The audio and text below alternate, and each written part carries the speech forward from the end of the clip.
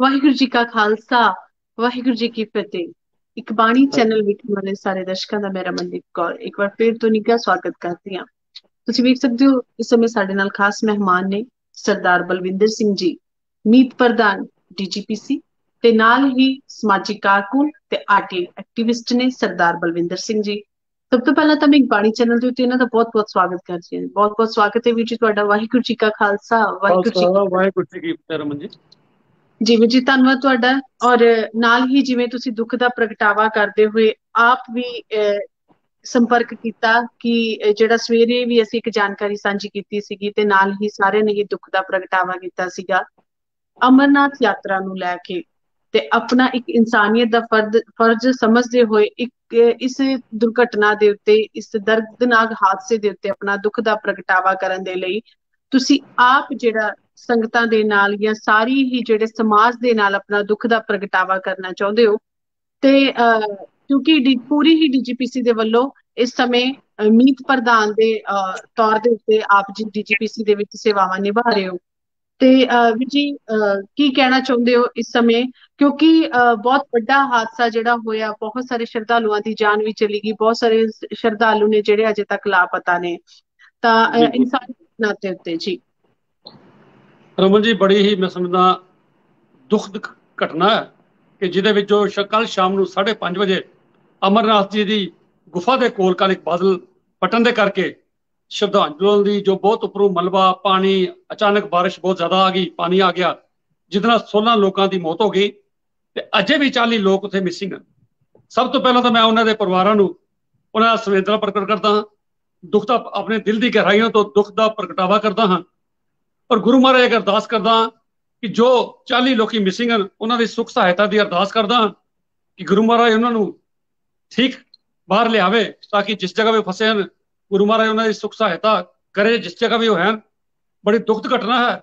ਐਸੀ ਘਟਨਾਵਾਂ ਰਮਨ ਜੀ ਜ਼ਿਲ੍ਹੇ ਆਪਦਾ ਕੋਈ ਐਸੀ ਆ ਜਾਂਦੀ ਹੈ, ਇਹਦੇ ਅੱਗੇ ਸਰਕਾਰਾਂ ਵੀ ਬੇਬਸ ਹੋ ਜਾਂਦੀਆਂ ਹਨ। ਸਰਕਾਰਾਂ ਨੇ ਬੜਾ ਅੱਛਾ ਇੰਤਜ਼ਾਮ ਕੀਤਾ ਦਾ ਸੀ। ਕੋਈ ਇਹਦੇ ਕੋਈ ਸ਼ੱਕ ਨਹੀਂ। ਆਈਟੀਬੀਪੀ ਦੀਆਂ ਟੀਮਾਂ ਉੱਥੇ ਪਹੁੰਚ ਗਈਆਂ ਸਨ ਮੌਕੇ ਤੇ। ਐਨਡੀਆਰਐਫ ਦੀਆਂ ਟੀਮਾਂ ਪਹੁੰਚ ਗਈਆਂ। ਔਰ ਐਮ5 ਐਮਆਈ 17 ਹੈਲੀਕਾਪਟਰਸ ਨੂੰ ਵੀ ਉੱਥੇ ਸਰਵਿਸਿਜ਼ ਦੇ ਲਗਾਤਾ ਗਿਆ। ਲੇਕਿਨ ਇਹਨਾਂ ਦੇ ਅੱਗੇ ਕਿਸੇ ਦਾ ਜ਼ੋਰ ਨਹੀਂ ਚੱਲਦਾ। ਜਦ ਐਸੀਆਂ ਕੋਈ ਆਪਦਾ ਦੀ ਘੜੀ ਆਉਂਦੀ ਹੈ ਤੇ ਇਨਸਾਨੀ ਜਿਤਨੇ ਮਰਜ਼ੀ ਤਾਕਤਵਰ ਹੋਣ ਇਨਸਾਨ ਜਿੰਨਾ ਮਰਜ਼ੀ ਇੰਤਜ਼ਾਮ ਕਰ ਲੈਣ ਫਿਰ ਵੀ ਰੱਬ ਦੀ ਅੱਗੇ ਆਪਦਾ ਦੇ ਅੱਗੇ ਉਹ ਫੇਲ ਬੇਬਸ ਨਜ਼ਰ ਆਉਂਦਾ ਹੈ। ਸੋ ਇਹਨਾਂ ਲੋਕਾਂ ਦੀ ਜਾਨ ਤੇ ਮਾਲ ਤੇ ਬੜਾ ਦੁੱਖ ਦਾ ਪ੍ਰਗਟਾਵਾ ਕਰਦਾ ਹਾਂ ਔਰ ਉਹਨਾਂ ਦੀ ਸੁਖ ਸਹਾਇਤਾ ਦੀ ਮੰਗ ਕਰਦਾ ਹਾਂ। ਗੁਰੂ ਮਹਾਰਾਜ ਅਗਰ ਅਰਦਾਸ ਕਰਦਾ ਹਾਂ ਕਿ ਛੇਤੀ ਉਹ ਵੀ ਠੀਕ ਠਾਕ ਆਪਣੇ ਰਿਸ਼ਤੇਦਾਰਾਂ ਦੇ ਕੋਲ ਆ ਪਹੁੰਚਣ। ਔਰ ਦੂਸਰਾ ਮੈਂ ਆਪਣੇ ਕੋਲ ਇਹ ਕਹਿਣਾ ਚਾਹੁੰਦਾ ਕਿ ਜੋ ਲੋਕ ਮਾਰੇ ਗਏ ਹਨ ਗੁਰੂ ਅਗੇ ਵੀ ਅਰਦਾਸ ਕਰਦੇ ਹਾਂ ਕਿ ਗੁਰੂ ਮਹਾਰਾਜ ਉਹਨਾਂ ਨੂੰ ਹਿੰਮਤ ਬਖਸ਼ੇ ਤਾਂ ਕਿ ਇਸ ਅਸਹ ਵਿਛੋੜੇ ਨੂੰ ਬਰਦਾਸ਼ਤ ਕਰ ਸਕਣ।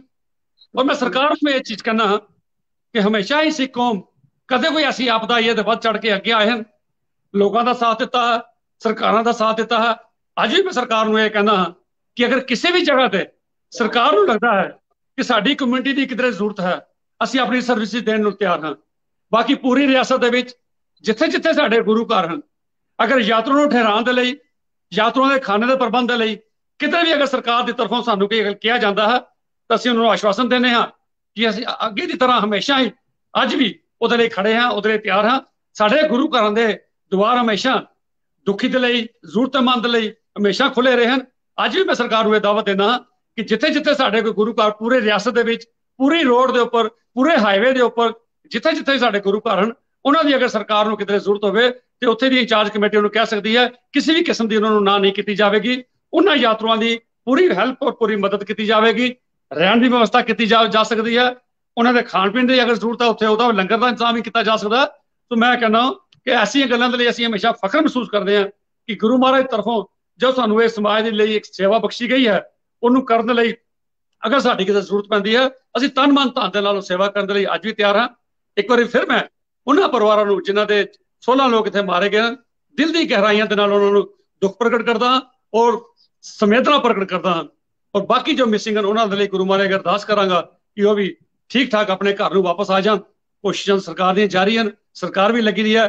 ਤੇ ਸਾਰੇ ਹੀ ਜਗ੍ਹਾ ਤੇ ਮੈਂ ਸਮਝਾਂ, ਗੁਰੂ ਘਰਾਂ 'ਚ ਐਸੀ ਅਰਦਾਸਾਂ ਹੋਣੀਆਂ ਚਾਹੀਦੀਆਂ ਭਈ ਜੋ ਲੋਕ ਮਿਸਿੰਗ ਹਨ, ਉਹ ਠੀਕ ਠਾਕ ਆਪਣੇ ਘਰ ਨੂੰ ਵਾਪਸ ਆ ਜਾਣ। ਇਸ ਲਈ ਪਰ ਫਿਰ ਮੈਂ ਉਹਨਾਂ ਪਰਿਵਾਰਾਂ ਨੂੰ ਦੇਣਾ ਕਿ ਪੂਰੀ ਕੌਮ ਤੁਹਾਡੇ ਨਾਲ ਖੜੀ ਹੈ, ਦੁੱਖ ਦੀ ਘੜੀ ਦੇ ਵਿੱਚ। ਜਿੱਥੇ ਵੀ ਕਿਤੇ ਸਾਡੀ ਜ਼ਰੂਰ ਸਮਝੋ, ਸਾਨੂੰ ਇੱਕ ਆਵਾਜ਼ ਲਗਾਓ, ਅਸੀਂ ਸਾਰੇ ਹੀ ਤਤਪਰ ਤੁਹਾਡੇ ਰਵਾਂਗੇ, ਤੁਹਾਡੀ ਸੇਵਾ ਦੇ ਲਈ। ਗੁਰੂ ਘਰ ਹਮੇਸ਼ਾ ਤੁਹਾਡੇ ਲਈ ਖੁੱਲੇ ਹਨ। ਜਦ ਵੀ ਜ਼ਰੂਰਤ ਪਵੇ ਅਸੀਂ ਸੇਵਾ ਦੇ ਲਈ ਤਿਆਰ ਹਾਂ। ਮੈਂ ਸਮਝਦਾ ਇਹ ਆ ਇੱਕ ਸੁਨੇਹਾ ਜੋ ਮੈਂ ਐਜ਼ ਅ ਸੋਸ਼ਲ ਐਕਟਿਵਿਸਟ ਜਾਂ as a vice president DGPC Jammu ਦੀ ਤਰਫੋਂ ਦੇਣਾ ਚਾਹਾਂਗਾ। ਜ਼ਰੂਰ ਕਿਉਂਕਿ ਹਮੇਸ਼ਾ ਹੀ ਗੁਰੂ ਘਰ ਇਸੇ ਲਈ ਰਹੇ ਹਨ। ਜਦ ਕੋਈ ਮਜਬੂਰ ਜਦ ਕੋਈ ਬੇਬਸ ਜਦ ਕੋਈ ਐਸੀ ਚੀਜ਼ ਆਂਦੀ ਆਪਦਾ ਆਂਦੀ ਹੈ ਤਾਂ ਹਰ ਜਗ੍ਹਾ ਸਾਡੀਆਂ ਜਿੱਥੇ ਦੇ ਟੀਮਾਂ ਸਿੱਖ ਕੌਮ ਦੇ ਲੋਕੀ ਜਿੱਥੇ ਦੇ ਵਾਲੰਟਰਲੀ ਅੱਗੇ ਆਏ ਚਾਹੇ ਕਰੋਨਾ ਕਾਲ ਸੀ ਚਾਹੇ ਜਦੋਂ ਵੀ ਦੁਨੀਆ ਦੇ ਵਿੱਚ ਹਿੰਦੁਸਤਾਨ ਦੇ ਵਿੱਚ ਦੁਨੀਆ ਦੇ ਵਿੱਚ ਮਾਨਵਤਾ ਦੀ ਸੇਵਾ ਦੇ ਲਈ ਹੀ ਅਸੀਂ ਆਪਣਾ ਧਰਮ ਸਮਝਦੇ ਹਾਂ। ਤਾਂ ਅੱਜ ਵੀ ਅਗਰ ਮਾਨਵਤਾ ਦੇ ਸੇਵਾ ਦੇ ਲਈ ਅੱਗੇ ਆਣਾ ਪਏਗਾ, ਤਾਂ ਅਸੀਂ ਉਹਦੇ ਲਈ ਤਤਪਰ ਰਹਾਂਗੇ। ਇਤਨੀਆਂ ਹੀ ਬੇਨਤੀਆਂ ਪ੍ਰਵਾਨ ਕਰਨੀਆਂ। ਵਾਹਿਗੁਰੂ ਜੀ ਕਾ ਖਾਲਸਾ, ਵਾਹਿਗੁਰੂ ਜੀ ਕੀ ਫਤਿਹ। ਜੀ ਵੀਰ ਜੀ ਜਿਸ ਤਰ੍ਹਾਂ ਦੇ ਨਾਲ ਜਦੋਂ ਸਾਰੀਆਂ ਹੀ ਕੌਮਾਂ ਆਪਸ ਦੇ ਵਿੱਚ, ਸਮਾਜ ਦੇ ਵਿੱਚ ਵਿਚਰਦੇ ਹੋਏ ਇੱਕ ਦੂਜੇ ਦੇ ਨਾਲ ਖੜੇ ਹੁੰਦੇ ਆ, ਤੇ ਦੇਖੋ ਕੁਦਰਤੀ ਆਪਦਾ ਦੇ ਅੱਗੇ ਕਰ ਕੋਈ ਕੁਝ ਵੀ ਨਹੀਂ ਸਕਦਾ। ਲੇਕਿਨ ਇੱਕ ਦੂਜੇ ਦੀ ਮਦਦ ਦੇ ਲਈ ਜਦੋਂ ਆਪਾਂ ਅੱਗੇ ਆਉਂਦੇ ਆ, ਤੇ ਇਸ ਦੇ ਨਾਲ ਦੂਸਰੇ ਇਨਸਾਨ ਨੂੰ ਹੌਸਲਾ ਜ਼ਰੂਰ ਹੋ ਜਾਂਦਾ ਹੈ। ਤਾਂ ਜਿਵੇਂ ਤੁਸੀਂ ਕਿਹਾ ਕਿ ਸਿੱਖ ਕੌਮ ਹਮੇਸ਼ਾ ਹੀ ਮਦਦ ਦੇ ਲਈ ਅੱਗੇ ਆਈ ਹੈ, ਚਾਹੇ ਕੋਈ ਵੀ ਕੁਦਰਤੀ ਆਪਦਾ ਰਵੀ ਹੋ, ਰਹੀ ਹੋਵੇ, ਤਾਂ ਸਮਾਜ ਦੇ ਵਿੱਚ ਵਿਚਰਦੇ ਹੋਏ ਹਰ ਇੱਕ ਇਨਸਾਨ ਇਨਸਾਨੀਅਤ ਦੇ ਤੌਰ ਦੇ ਉੱਤੇ ਇੱਕ ਦੂਜੇ ਦੀ ਮਦਦ ਕਰਦਾ। ਤੇ ਜੋ ਤੁਸੀਂ ਸਨੇਹਾ ਡਿਸਟ੍ਰਿਕਟ ਗੁਰਦੁਆਰਾ ਪ੍ਰਬੰਧਕ ਕਮੇਟੀ ਦੇ ਮੌਜੂਦਾ ਮੀਤ ਪ੍ਰਧਾਨ ਦੇ ਵਜੋਂ ਦਿੱਤਾ ਹੈਗਾ ਉਸ ਦੇ ਨਾਲ ਮੈਨੂੰ ਲੱਗਦਾ ਇੱਕ ਬਹੁਤ ਵੱਡਾ ਏਕੇ ਦਾ ਸੁਨੇਹਾ ਵੀ ਜਾਂਦਾ ਹੈ ਤੇ ਨਾਲ ਹੀ ਇਹ ਵੀ ਪਤਾ ਲੱਗਦਾ ਹੈ ਕਿ ਜੰਮੂ ਕਸ਼ਮੀਰ ਦੇ ਵਿੱਚ, ਗੁਰਦੁਆਰਾ ਸਾਹਿਬ ਦੇ ਵਿੱਚ ਚਾਹੇ ਪ੍ਰਸ਼ਾਸਨ ਨੂੰ ਕਦੀ ਜ਼ਰੂਰਤ ਪਵੇ, ਚਾਹੇ ਜਿੱਦਾਂ ਸ਼ਰਧਾਲੂ ਆਏ ਹੋਏ ਨੇ, ਉਹਨਾਂ ਨੂੰ ਕਦੀ ਜ਼ਰੂਰਤ ਪਵੇ, ਤਾਂ ਜਿਹੜੀਆਂ ਕਮੇਟੀਆਂ ਨੇ, ਉੱਥੋਂ ਦੇ ਜਿਹੜੇ ਪ੍ਰਬੰਧਕ ਨੇ, ਉਹ ਹਰ ਕਿਸਮ ਦੀ ਸਹਾਇਤਾ ਦੇ ਲਈ ਤਿਆਰ ਨੇ। ਤੇ ਮੈਂ ਫਿਰ ਤੋਂ ਬਹੁਤ-ਬਹੁਤ ਧੰਨਵਾਦ ਕਰਦੀ ਹਾਂ ਵੀਰ ਜੀ ਇਹ ਜਿਹੜਾ ਆਪਣੇ ਵਿਚਾਰ ਸਾਡੇ ਨਾਲ ਸਾਂਝੇ ਕਰਨ ਦੇ ਲਈ। ਤੇ ਇੱਕ ਜਿਹੜਾ ਤੁਸੀਂ ਬਹੁਤ ਹੀ ਇੱਕ ਪੋਜ਼ਿਟਿਵ ਤੇ ਇੱਕ ਹੁੰਗਾਰੇ ਵਾਲਾ ਜਿਹੜਾ ਮੈਸੇਜ ਹੈ ਉਹ ਸਮਾਜ ਦੇ ਨਾਲ ਸਾਂਝਾ ਕੀਤਾ ਜੀ। ਬਹੁਤ-ਬਹੁਤ ਧੰਨਵਾਦ ਵੀਰ ਜੀ। ਸ਼ੁਕਰੀਆ ਰਮਨ ਜੀ। ਜੀ। ਵਾਹਿਗੁਰੂ ਜੀ ਕਾ ਖਾਲਸਾ ਵਾਹਿਗੁਰੂ ਜੀ ਕੀ ਫਤਿਹ। ਤੇ ਜਿਸ ਤਰ੍ਹਾਂ ਦੇ ਨਾਲ ਸਰਦਾਰ ਬਲਵਿੰਦਰ ਸਿੰਘ ਜੀ ਹੁਣਾਂ ਨੇ ਆਪਦਾ ਸੁਨੇਹਾ ਇਹ ਸਾਂਝਾ ਕੀਤਾ ਹੈ ਕਿ ਜਿੱਥੇ ਵੀ ਗੁਰਦੁਆਰਾ ਸਾਹਿਬ ਦੀ ਵਿੱਚ ਜਿਹੜੇ ਪ੍ਰਬੰਧਕਾਂ ਦੀ ਜਾਂ ਗੁਰਦੁਆਰਾ ਸਾਹਿਬ ਦੇ ਜਿਹੜੇ ਉੱਥੇ ਰਿਹਾਇਸ਼ ਹੈ ਜਾਂ ਲੰਗਰ ਦਾ ਪ੍ਰਬੰਧ ਕਰਨ ਦੀ ਜਿੱਥੇ ਵੀ ਪ੍ਰਸ਼ਾਸਨ ਨੂੰ ਕਦੀ ਵੀ ਜ਼ਰੂਰਤ ਪਵੇਗੀ, ਅਮਰਨਾਥ ਯਾਤਰਾ ਵਿਖੇ ਆਏ ਸ਼ਰਧਾਲੂਆਂ ਦੇ ਲਈ ਉਹਨਾਂ ਨੂੰ ਕਿਸੇ ਵੀ ਕਿਸਮ ਦੀ ਕੋਈ ਦਿੱਕਤ ਪੇਸ਼ ਆਉਂਦੀ ਹੈ ਤਾਂ ਗੁਰਦੁਆਰਾ ਸਾਹਿਬ ਦੇ ਜਿਹੜੇ ਦਰਵਾਜ਼ੇ ਨੇ ਹਰ ਇੱਕ ਧਰਮ ਮਜ਼ਹਬ ਦੇ ਲਈ ਖੁੱਲੇ ਨੇ ਤੇ ਜਦੋਂ ਵੀ ਉਹਨਾਂ ਕਮੇਟੀਆਂ ਦੇ ਨਾਲ ਰਾਬਤਾ ਕਰਕੇ ਕਿਸੇ ਕਿਸਮ ਦੀ ਵੀ ਮਦਦ ਦੀ ਮੰਗ ਕੀਤੀ ਜਾਵੇਗੀ ਤਾਂ ਗੁਰਦੁਆਰਾ ਸਾਹਿਬ ਦੀ ਕਮੇਟੀਆਂ ਗੁਰਦੁਆਰਾ ਸਾਹਿਬ ਦੇ ਜਿਹੜੇ ਪ੍ਰਬੰਧਨ ਨੇ, ਉਹਨਾਂ ਦੇ ਲਈ ਹਮੇਸ਼ਾ ਪ੍ਰਬੰਧਕ ਤਿਆਰ ਬਰ ਤਿਆਰ ਨੇ, ਸੇਵਾਦਾਰ ਤਿਆਰ ਬਰ ਤਿਆਰ ਨੇ ਤੇ ਨਾਲ ਹੀ ਉਹਨਾਂ ਨੇ ਪੂਰੀ ਆਪਣੀ ਡਿਸਟ੍ਰਿਕਟ ਗੁਰਦੁਆਰਾ ਪ੍ਰਬੰਧਕ ਕਮੇਟੀ ਦੇ ਵੱਲੋਂ ਇਸ ਅਮਰਨਾਥ ਯਾਤਰਾ ਵਿਖੇ ਹੋਏ ਜਿਹੜਾ ਇਹ ਦਰਦਨਾਕ ਹਾਦਸਾ ਜਿਸ ਦੇ ਵਿੱਚ 15 ਤੋਂ ਉੱਪਰ ਲਗਭਗ ਵਿਅਕਤੀਆਂ ਦੀ ਜਾਨ ਚਲੀ ਗਈ ਹੈ ਲੋਕਾਂ ਦੀ ਤੇ 40 ਦੇ ਲਗਭਗ ਲਾਪਤਾ ਨੇ। ਉਸ ਦੇ ਉੱਪਰ ਆਪਣਾ ਦੁੱਖ ਦਾ ਪ੍ਰਗਟਾਵਾ ਕੀਤਾ ਤੇ ਆਪਾਂ ਵੀ ਸਾਰੇ ਹੀ ਅਰਦਾਸ ਕਰੀਏ ਵਾਹਿਗੁਰੂ ਜੀ, ਜਿਹੜੀਆਂ ਵਿਛੜੀਆਂ ਰੂਹਾਂ ਨੇ ਉਹਨਾਂ ਨੂੰ ਆਪਣੇ ਚਰਨਾਂ ਕਮਲਾਂ ਦੇ ਵਿੱਚ ਨਿਵਾਸ ਬਖਸ਼ੋ ਤੇ ਜਿਹੜੇ ਲੋਕ ਨਹੀਂ ਮਿਲ ਰਹੇ ਨੇ, ਜਿਹੜੇ ਜਿਨ੍ਹਾਂ ਦਾ ਅਜੇ ਪਤਾ ਕੁਝ ਨਹੀਂ ਲੱਗ ਰਿਹਾ, ਉਹਨਾਂ ਦਾ ਜਲਦ ਪਤਾ ਲੱਗੇ ਕਿ ਆਪਣੇ ਪਰਿਵਾਰਾਂ ਦੇ ਵਿੱਚ ਸਹੀ ਸਲਾਮਤ ਜਿਹੜਾ ਘਰ ਪਹੁੰਚੇ। ਆਓ ਸਾਰੇ ਰਲ ਕੇ ਕਰੀਏ ਅਰਦਾਸ। ਮਿਲ ਹੋ ਗਿਆ, ਤੁਹਾਡੇ ਤੋਂ ਇਜਾਜ਼ਤ ਲੈਣ ਦਾ, ਮੈਨੂੰ ਤੇ ਇਜਾਜ਼ਤ। ਵਾਹਿਗੁਰੂ ਜੀ ਕਾ ਖਾਲਸਾ, ਵਾਹਿਗੁਰੂ ਜੀ ਕੀ ਫਤਿਹ।